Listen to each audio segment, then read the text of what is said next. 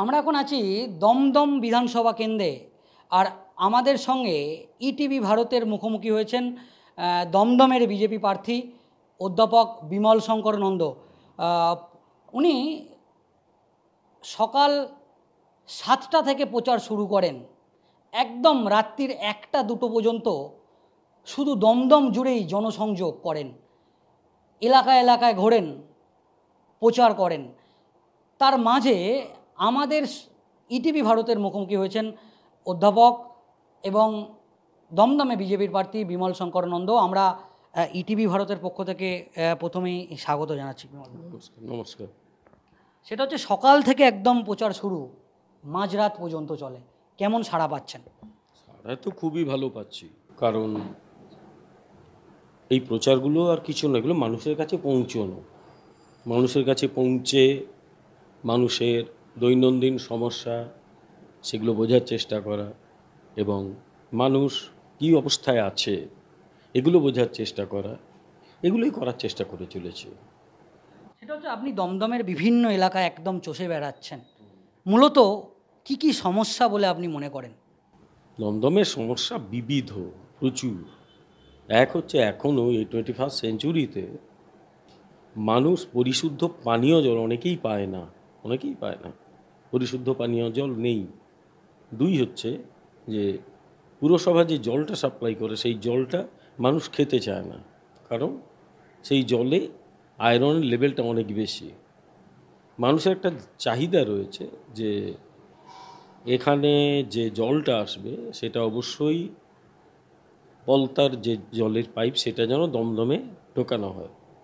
কিন্তু দুর্ভাগ্যবশত কয়েকটা এলাকা বাদ দিলে মানুষ কিন্তু পরিশুদ্ধ পানীয় জল দমদমে পাচ্ছে না।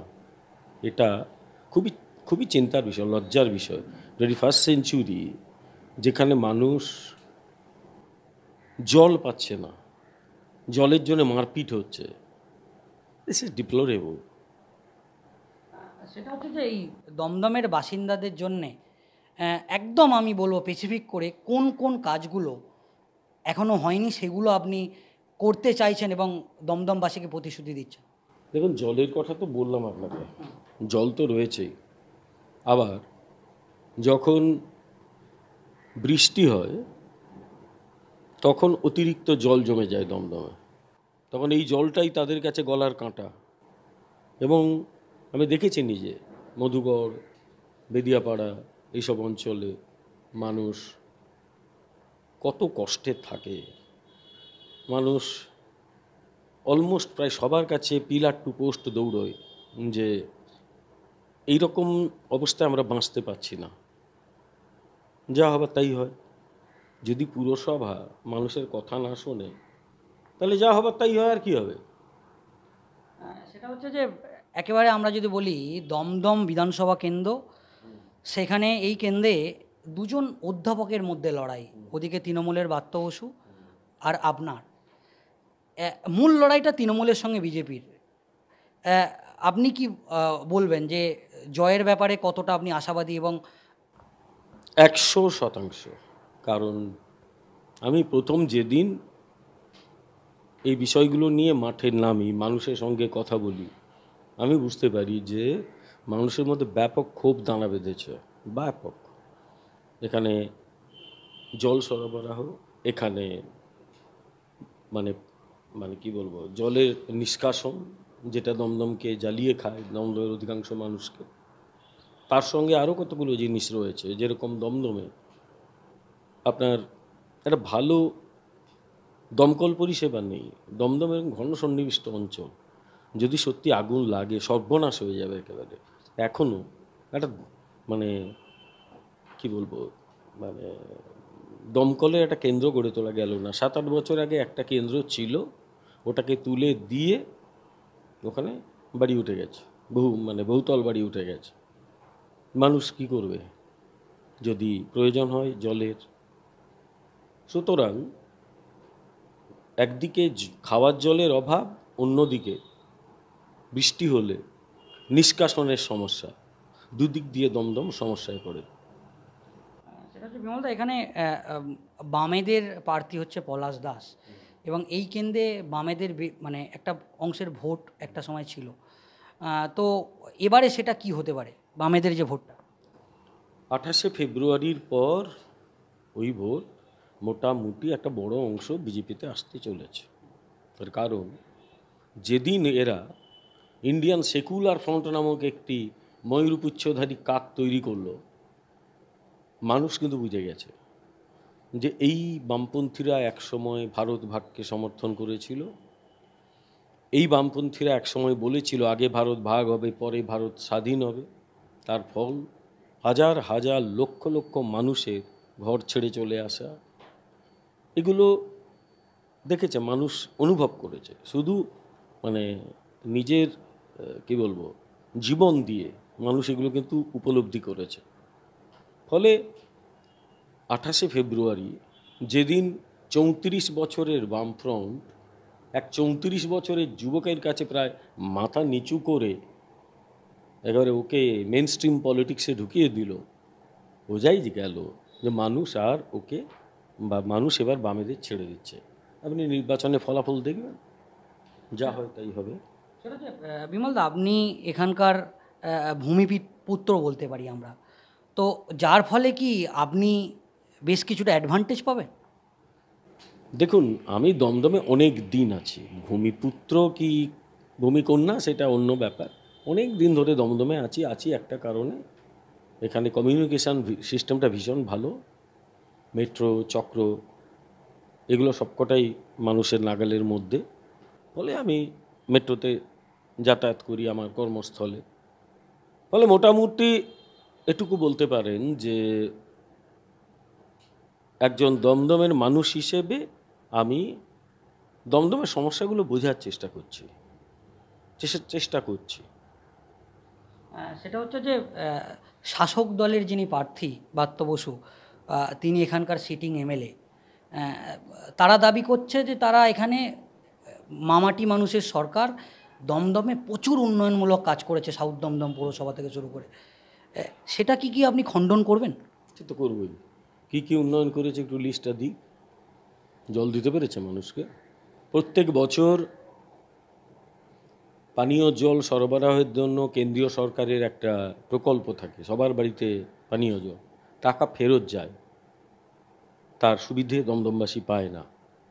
আবার চেষ্টা করা হয় যদি মানুষের যে জল বেশি বৃষ্টি হলে, যে বৃষ্টির জলকে নিষ্কাশন করতে। সেখানেও কিন্তু দমদমবাসী সমস্যায় পড়ে, কারণ জল নিষ্কাশন হয় না বাগজোলা খাল চোখট হয়ে গেছে একেবারে। তো প্রত্যেক বছর সে অদ্ভুত গল্প চলে বাগজোলা খালের কাছে এসে সব থেমে যায়। ফলে এই যদি হয় তাহলে মানুষ কি করে দমদমবাসী হিসেবে বামপন্থী বা তৃণমূল কংগ্রেস তাদের সুবিধাজনক জায়গায় রাখবে? রাখবে না। সেটা হচ্ছে এই বিধানসভার কেন্দ্রের মধ্যে বেদিয়াপাড়া সহ বেশ কয়েকটি বস্তি আছে। এই বস্তিবাসীর জন্যে আপনি কি কাজ করতে চান?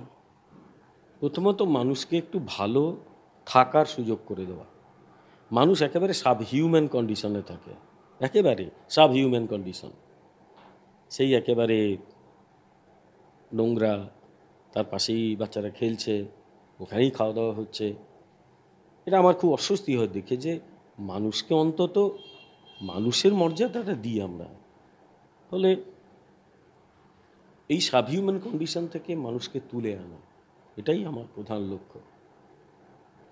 সেটা হচ্ছে যে বিধায়কদের বিরুদ্ধে একটা অভিযোগ থাকে, এলাকার বাসিন্দারাও আমাকে বলছিলে যে জয়লাভ করার পর তারপর বিধায়কদের খুঁজে পাওয়া যায় না এবং এমনকি ফোন করলে রিসিভ পর্যন্ত করে না, এরকম অভিযোগ আছে। যদি সে বিষয়ে দমদমের যারা বাসিন্দা আছে তারাই আমাদের ক্যামেরার সামনে অভিযোগ করবেন। সেই সম্পর্কে আপনি কি বলবেন? অন্তত আমি সেটা করব না, কারণ আমি দমদমে আছি তো, দমদমেই তো থাকি। তো মানুষ তো আমার সঙ্গে দেখা করতেই পারে। দেখা করতেই পারে, তার নিজের ভাবনা, চিন্তা, সেগুলো। জানাতেই পারি। তাই এটা কোনো কথা না। যারা যাদের ইচ্ছে, তারা ঠিক মানুষের জন্য কাজ করবে।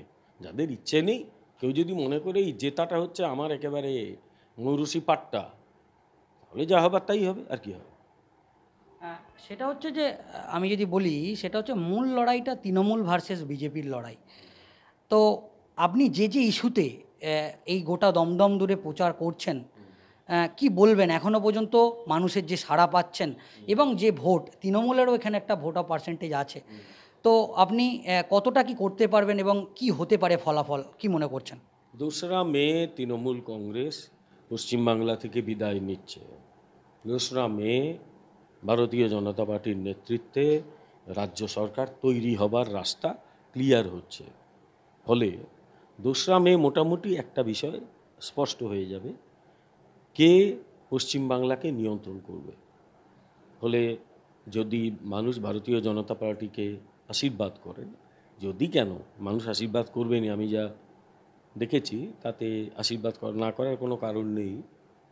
তাতে আর যাই হোক, তৃণমূল কংগ্রেসের পক্ষে আর কিছু নতুন কিছু বলা মানুষকে, নতুন কিছু করা মানুষকে দুটোই কিন্তু অসম্ভব প্রায়। সেটা দমদমটা কি হবে? বলছি তো দমদমে ভারতীয় জনতা পার্টি জয়লাভ করবে। বিপুল ভোটে।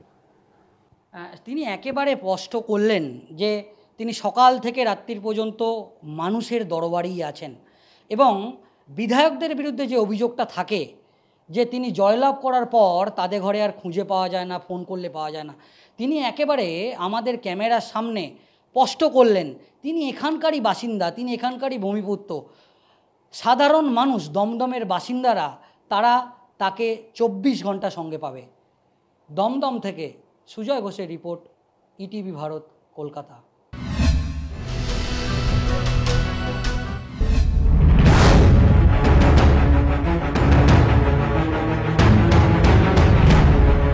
দিদি দিদি আপনি খেলা খেলা খেলায় কে যেতে আর খেলায় কে হারে? নন্দীগ্রামের দৈরথ। নাকি বিজেপি রণকৌশল?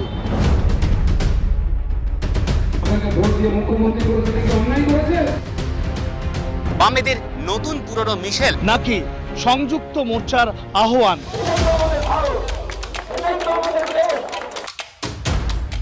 বাংলার মাসনা দেখে জানতে হলে ক্লিক করুন। ইটিভি ভারতে।